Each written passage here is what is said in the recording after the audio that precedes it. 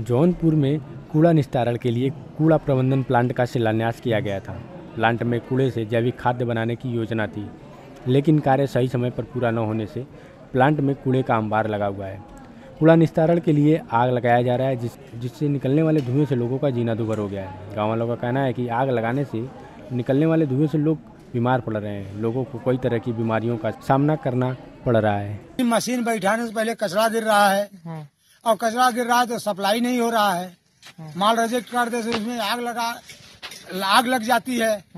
आग से सांस फूलता है। रात में बड़ी दुर्गंध आती है। और कोई भी खुला ओपन डंपिंग नहीं होगी कूड़े की कहीं भी। डंपिंग साइट है हमें वीडियो मिला था वहाँ जला रहे हैं। खुला हाँ। हाँ तो अब जलेगा नहीं। कलेक्टर साहब ने वहाँ टैंकर भेज के उसको सब तो बुला दिया है। और अरेंजमेंट करेंगे कि वहाँ मरे जानवर न फेंके जाए। तो जो हवा से पॉल्यूशन होता है ये चेक होगा जौनपुर के कोरोना वाला। ये और सेंट्रल गवर्नमेंट पॉल्यूशन बोर्ड की टीम है।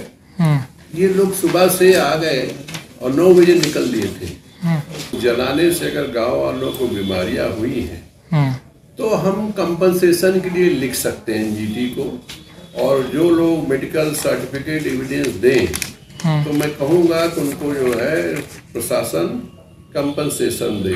सकता है कुल्ला मऊ में बनाए गए इस प्लांट में नगर पालिका द्वारा आग लगाकर इसे निस्तारण किया जा रहा है जबकि इससे गाँव में समस्याएँ उत्पन्न हो रही लोग बीमार हो रहे हैं। इस पर गाँव वालों को क्षतिपूर्ति देने की बात कही गई है। अगर कोई इस पर शिकायत करता है तो उसे एनजीटी द्वारा पर्यावरण प्रदूषण फैलाने पर उसे क्षतिपूर्ति दिया जाएगा।